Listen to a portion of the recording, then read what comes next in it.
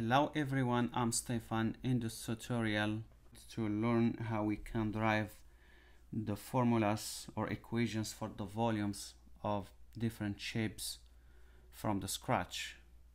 Without memorizing anything, we can still uh, calculate the volumes of different shapes and by using the calculus. And the idea here, we have this cone here with the height of 12 meters and the radius of 2 meters we see how much the volume and the mass of the ice cream we need to fill it to the top to here not to here to here. So we're going to see calculate that. First of all we have to find uh, this formula here from the scratch without using it just driving it using the calculus and learn how we can do that and then when we find the formula we are going to calculate the volume without even driving the formula. Then when we have the volume of the cone is going to be the volume of the ice cream actually because we're going to fit it inside. Then we're going to convert the volume of the ice cream using the the the formula this one here the density the density formula so to know how many kilograms we are going to need i'm sure is a lot of a lot a lot. So let's do that. First of all first of all let's find the uh, function that's more or less if we rotate it if we rotate it something like this something like this we're going to get a cone. And in this idea we see that we have the cone is the radius is 2 so 1 2 radius is here and we see the height is 12 so we can take this line here the formula of this line. So when we are rotating it we are getting the same cone we have here just is sleeping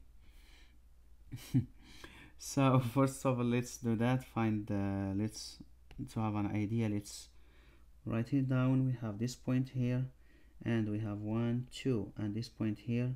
We can call this point here is h and r because if you see we have h and r so let's do that and this is the line is going to be more or less something like this.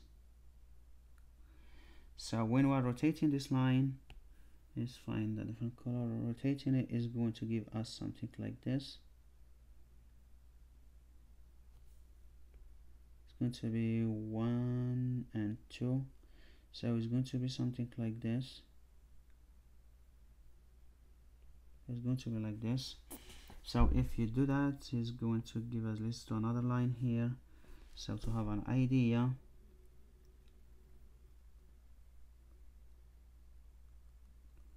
If you see we are getting the cone you see? The same thing and has r is 2 and has the height here is h is 12 the same thing. So let's drive the the equation of this line. The equation of this line we can call it rf of x. Y is just the slope. We are going to find the slope is just y2 minus y1 over x2 minus x1 so when we have a line we choose two points and we do x2 minus x1 here uh, y2 minus y1 over x2 minus x1 this is what we did here to find the slope. And this here is going to multiply in x plus usually is plus b since it's going from the origin doesn't have b. B is equal to zero. It just is going to be like that. So it's going to be just uh, x y2 over x2 just is going to be uh, 2 over 6 so it's going to be just r over h x. And we can write here just 1 over 6 x. Because 2 over 12 is just 1 over 6 and this is the equation of the line that is going from is this one here. This that the equation of this line here. So what we're going to do we are going to select a small disk. You can change the color here. Let's this we can call this disk here. It's very tiny actually. And this disk has the the radius is this one here and has the thickness here. Let's change the color. Let's do this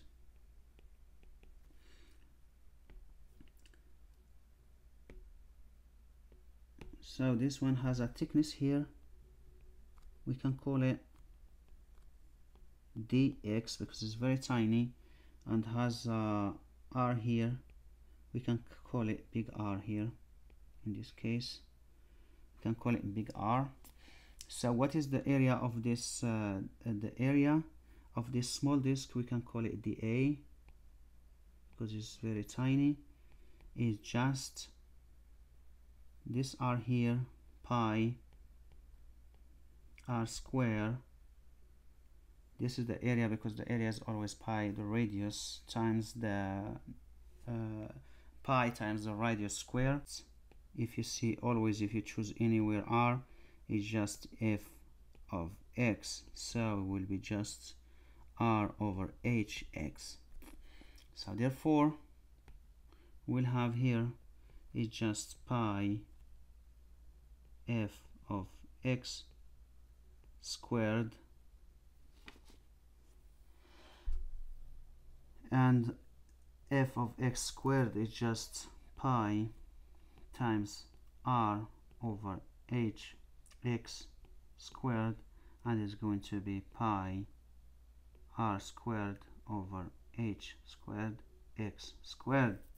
So this is the area of of that small disk this is the area of this small disk here uh, the, uh, the area here so to find the volume, we have to multiply in the thickness because always the cylinder, if we have a cylinder like this and we have the area, we have to multiply in the height, this one to have the volume and this is a very tiny cylinder. So therefore, dV is just dA times the x that small tiny chunk. So what is going to give us in this case here we find the area is this one. So let's plug it here. It's going to be just equal to pi r squared over h square x square dx let me see if it's correct. Yes. So now let's find the v. Let's uh, just to have everything. So that one is the the dv so let's find the big dv so uh, the big v. So v change the color here something dark. So v is going to be just integrating dv from 0 to 12 so since this small we can take all those small pieces here and we add them together. This is the integration from that chunks from 0 to 12 you see from 0 to 12 we are doing it. 12 is stopping. So what is going to be here is just integration from 0 to 12 of pi r squared over h squared x squared dx. And we see this here is just constant because r constant h constant and uh, pi constant. We can always remove it outside. So what we're going to get is just pi r squared over h squared times 0 to h. Let's first find just to drive the the formula from 0 to h and this we can use it when we are going straight forward without finding the formula. So what is going to be just x squared dx?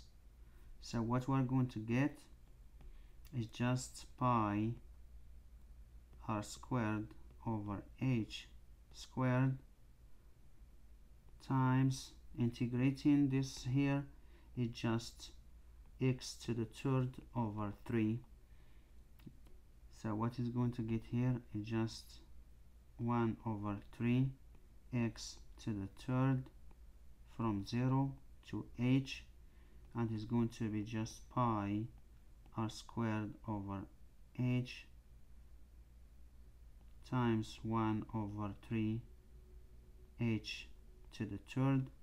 We see here this one here when we have this we just uh, substitute x with this minus this one here we have to substitute with this but this is just 0 is going to give us 0 so we end just with this. And uh, refreshing the integration if we have for example x squared integrating it is just it is given uh, x squared integration is just 1 over 3 x to the third when you are integrating something let's just I was skipping fast. So we have for example uh, x to the a integrating it is just 1 over a plus 1 to the power x a plus 1 same idea we did. We have x squared. So we divide by uh, by 2 plus 1 and we raise the power plus 1 extra is 2 plus 1 just 3 this is what we did here. Same thing just in case if you don't remember the integrating or something. So what we're going to get just this here and this one is going to be just pi this is here squared r squared over h squared times 1 over 3 h to the third and this h to the third just let's write it h to the second squared times h? Times h. So we see that we have here uh, h squared and h squared we can cancel it and we end with pi r squared h over 3 is same as 1 over 3 pi r squared h. Now we see we have derived the formula. We're driving the formula without even seeing it there even if you don't remember you still can do it using the calculus. And uh, you can not just the cone you can find you can find any shape you want. Since uh, the only thing you have to do just finding an equation and the piece of the curve of the equation it will give you by rotating it give you the figure you are looking for and then you can always find the volume. So this is the volume uh, the formula of the volume. So let's uh, calculating it. Just go straight forward. Let's delete this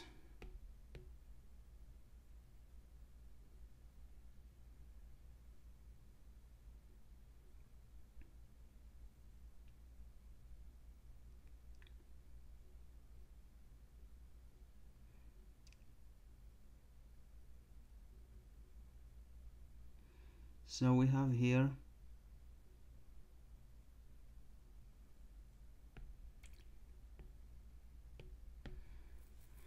we say it's just pi dv dx is just pi times this one here and this one just 1 over 6 squared x squared dx right? Just we unblock the f uh, f of x in each place is here. It's just this one here times the x. So this is what we did here and the seed f of x just that one. So what we're going to get? So the integrating this one here dv we say is just equally change the color here. Is going to be is just integrating from 0 to 12 of what 1 over 36 pi x squared dx. So what we're going to get this is just constant. We can always take it outside it will be pi pi over 36 integrating 0 from to 12 of x squared dx. And what we're going to get? Pi over 36 times 1 over 3 x to the third from 0 to 12 from 0 is just 0 so we can and just we substitute this with this here and we have the answer. Therefore so it's going to give us pi over 36 times 3 1 over 3 times 12 to the third. And let's see how much is going to be. So we have 12 to the third. 12 to the third.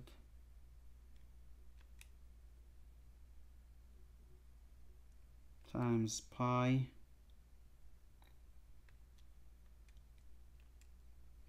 Divided by 36 and divided by 3 and we get 50.27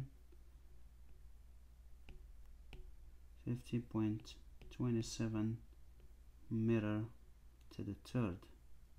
So we see without even applying the formula go straight forward and we still we get same answer that we get here is same answer. I see. Same answer is here. So now we have the volume in meter cubic in cubic meter. So let's change it to the liter because we have here the formula 1 kilogram uh, 0.56 kilogram per liter. So let's convert in this uh, this formula here this uh, quantity from meter cubic to the liter. So let's delete this stuff and do that. So since you if you know the trick how you do it you can find the volume to every shapes the only issue you can find so how you find the, the function that describe the figure you're looking for. So we have here in this case we have that uh, v is equal to 50.27 cubic meter. So we have to we know that uh, one one we know that one one meter one cubic meter is equal to a thousand liter. Therefore we just multiply there with a thousand and we get the answer. Therefore v is just 50270 liter. So we have the quantity in liters here. So we are going to convert uh, the volume from liter to the mass. So we have the mass equally m. Is just the volume times the, the density. So what we're going to have is just 50270 liters times 0.56 gram kilogram kilogram per liter so what we're going to get. So multiply it and we have 50270 times 0 0.56 we're going to get 2800 uh, 28,151.2 kilograms is a lot of ice cream. And is a lot of money too. Hopefully you enjoyed this video. Thank you for watching. And wait for next video. Please subscribe if you didn't and share so other people they can learn. And thank you